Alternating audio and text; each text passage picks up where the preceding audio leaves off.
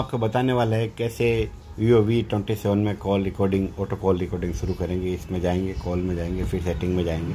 Setting में जाके call recording है। उसके अंदर जाके ये आपको ऑन करना है। ये आपके ऑटो कॉल रिकॉर्डिंग शुरू हो जाएगी। Thank you